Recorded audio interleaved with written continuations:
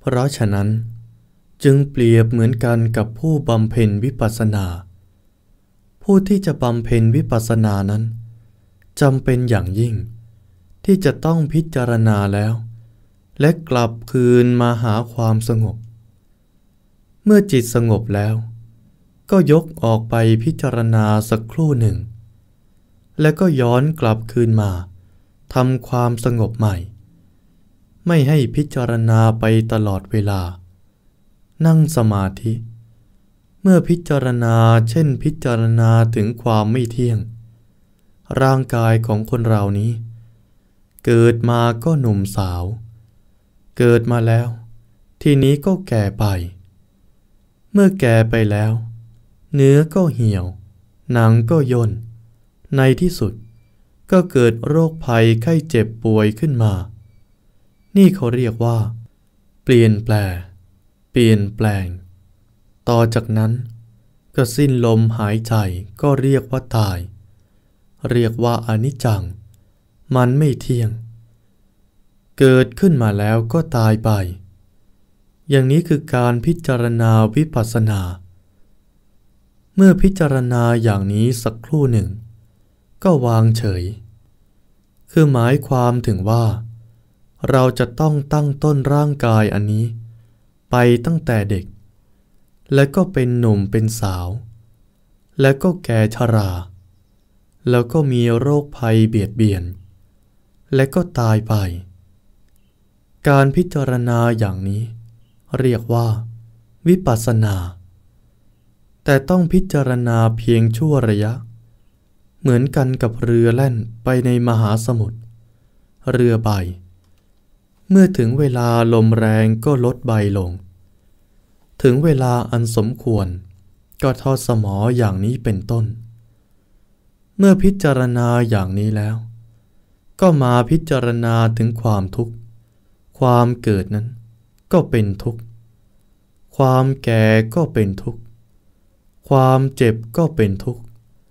ความตายก็เป็นทุกข์อย่างนี้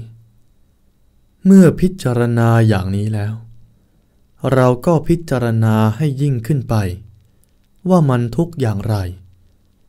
เช่นเมื่อเวลาเจ็บป่วยขึ้นมานี้ มันทุกแค่ไหน เมื่อเวลาไม่มีสิ่งที่เราต้องการมัน เกิดความทุกข์แค่ไหน เมื่อเราต้องการสิ่งใด ไม่สมปรารถนา มันทุกแค่ไหน ในเมื่อเวลาคนรักคนชอบของเราต้องตายไป เราทุกข์แค่ไหน อย่างนี้เขาเรียกว่า ทุกขัง คือความเป็นทุกข์ ย่อมจะต้องเกิดขึ้น เมื่อพิจารณาอย่างนี้แล้วก็ชื่อว่า เป็นวิปัสสนาอีกส่วนหนึ่ง อนัตตาคือความไม่ใช่ตัวตนนั้น เราต้องพิจารณาว่า อันร่างกายของเรานี้ มันเป็นเพียงธาตุทั้งสี่ ดินน้ำไฟลมเท่านั้น ส่วนที่เป็นลักษณะแข็ง ก็เรียกว่า ดิน ส่วนที่เป็นลักษณะอ่อนเหลว ก็เรียกว่า น้ำ ส่วนที่พัดไปพัดมาก็เรียกว่า ลม ส่วนที่ทำให้ร่างกายอบอุ่น ก็เรียกว่าไฟ มันเป็นธาตุทั้งสี่ จึงไม่ใช่ตัวตนแต่อย่างใด ทั้งสามประการนี้ มันเป็นเรื่องของการทวนกระแสจิต คนเรานั้น รักสวยรักงาม คนเรานั้น ไม่อยากพูดถึงกองทุกข์ คนเรานั้น ถือว่าเป็นตัวเป็นตนจริงๆ ไม่ใช่ว่า ไม่ใช่ตัวตน นี่เราถือกันมา แล้วเราก็รู้จักกันมาโดยในนี้ แต่วิปัสสนานั้น เป็นส่วนที่ทวนกระแส คือทวนกระแสของโลก เมื่อเขาว่าตัวตน วิปัสสนาก็ว่าไม่ใช่ตัวตน เมื่อเขาว่าเที่ยง วิปัสสนาก็ว่าไม่เที่ยง เมื่อเขาว่าเป็นสุข วิปัสสนาก็ว่าเป็นทุกอย่างนี้ ถ้าผู้ที่มาบำเพ็ญ พิจารณาแล้วพิจารณาเล่า เรียกว่า พิจารณาหลายครั้งเหลือเกิน ครั้งแล้วก็ครั้งเล่า มันก็จะเกิดสิ่งหนึ่งขึ้นมา สิ่งนั้นก็คือวิปัสสนา วิปัสสนานั้นมีเก้าประการ นับไปตั้งแต่ นิพพิทายานมนจิตุกรรมยตาฌาน พังขยานเป็นต้น ยานนั้นได้แก่ความอย่างรู้ หรือสิ่งที่พอเพียงแห่งความต้องการแล้ว เกิดขึ้น เรียกว่ายานในการที่พิจารณาให้เกิดความเบื่อหน่ายขึ้นนั้น ความเบื่อหน่ายเขาเรียกว่า นิพิทายาน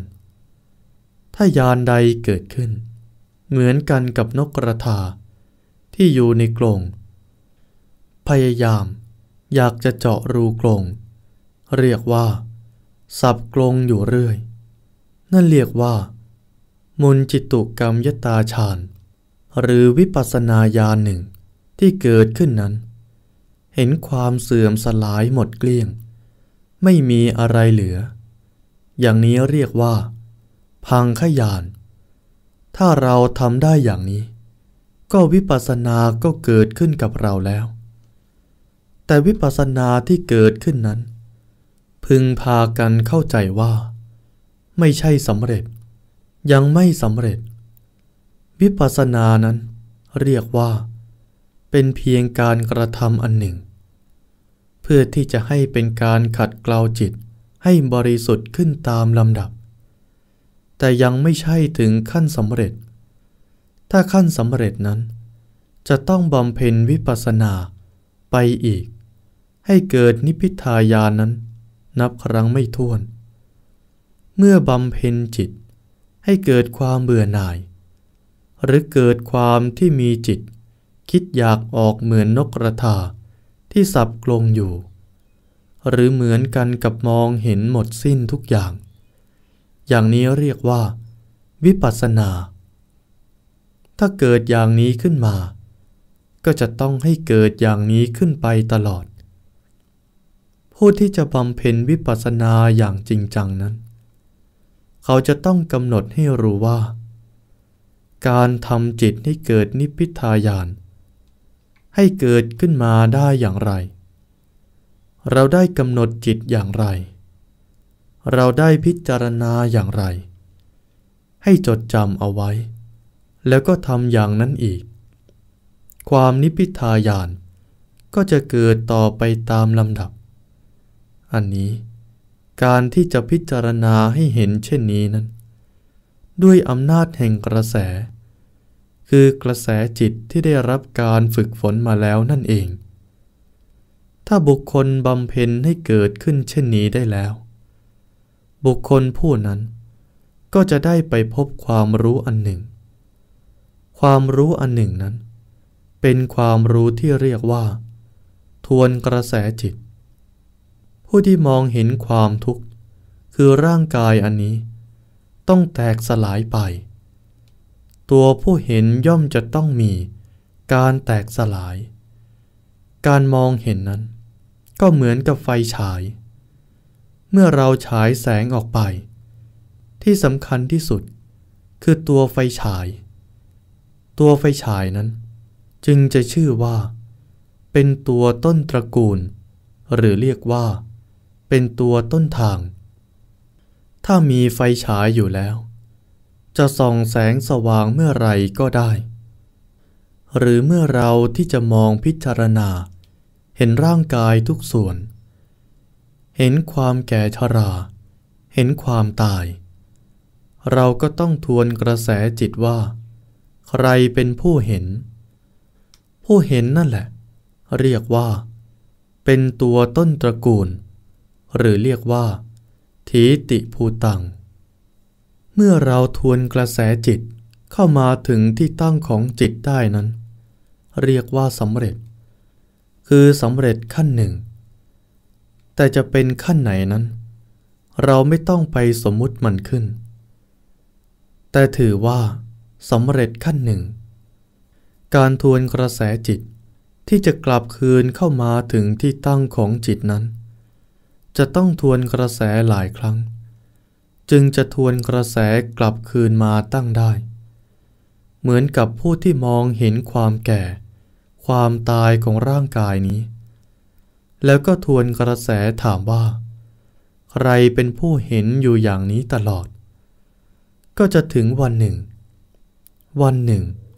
เมื่อถึงจุดความเพียงพอแล้ว จะตกหนองอ้อ อ้อ อยู่นี่เองหรอกหรือ ถ้าถึงเช่นนั้นแล้ว เรียกว่า ผู้นั้นจะต้องเป็นผู้ที่มีบารมีสูง สามารถที่พบได้